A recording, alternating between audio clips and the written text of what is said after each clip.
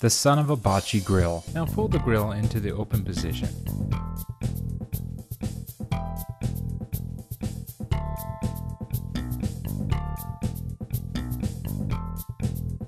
Screw in handle into the ash drawer.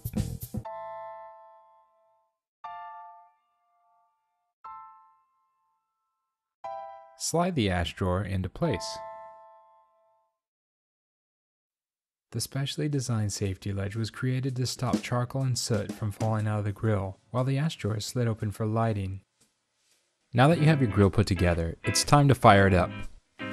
First, fill both sides of the grill with a layer of charcoal.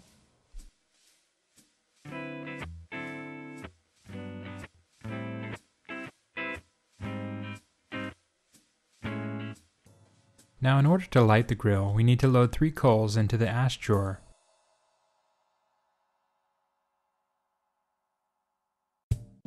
Place a rolled up paper towel in the ash drawer.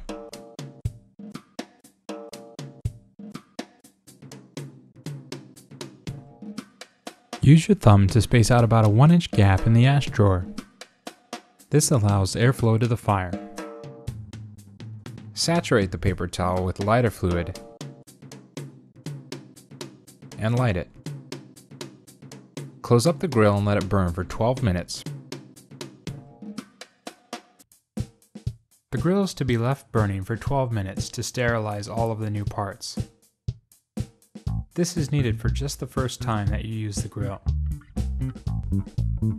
Once 12 minutes have gone by, open your grill. The clean cast iron is now ready to cook on.